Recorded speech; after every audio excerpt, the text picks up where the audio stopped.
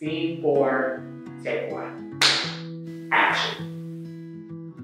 What is your name, age, and pronouns? Uh, my name is Yarick Maldonado. Uh, I'm 16 years old and I go by he, him. What city and neighborhood are you from? Uh, I'm from Oakland, specifically from West Oakland near Emeryville. What does Oakland mean to you?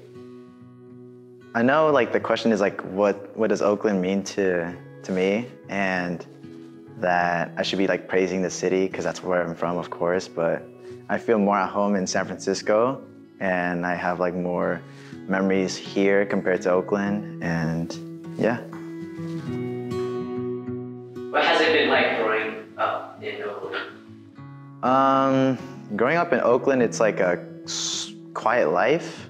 Not really like going out with like friends or like mostly like a rinse and repeat schedule, like going to school, waking up, going to school, uh, do homework, and that's pretty much it.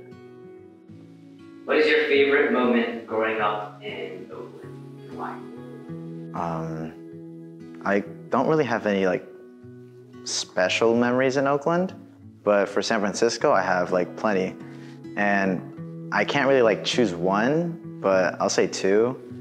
And one is um, going to Japantown for, for the Cherry Blossom Festival. And another one is recent where, where I went to hang out with, my, with some of my friends in Powell and just walk around the city. Is there anything else you'd like to add? Uh, what is there to say? Make sure to get your boba taro, 50% sugar, 50% ice. Um, yeah.